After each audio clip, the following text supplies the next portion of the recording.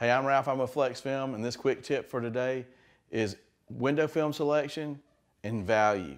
You see, a lot of people ask me, how many selections should I have in my store? You know, should I have a good, better, best? Should I have a good best? Should I have a better best? How about all three and then some extra ones? You know, how many choices is too many?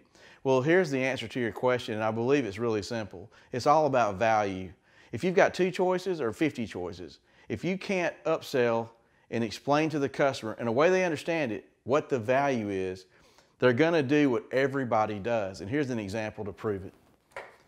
This is the friendly neighborhood gas pump, and yes, my friend gave it to me.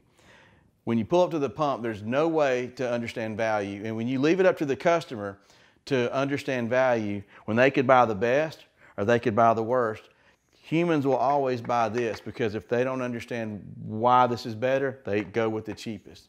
If you've got a bunch of films for sale and you can't explain to them why this one's better than that one, they're always going to go for the cheapest price because window film is nothing just like gas to all these people. They, they, they can't tell the difference.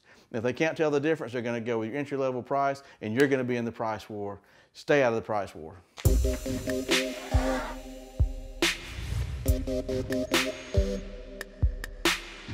We'll be right back.